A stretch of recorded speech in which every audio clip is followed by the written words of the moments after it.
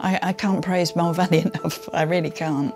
I know that there is a system there that's monitoring me and I'm not on my own anymore.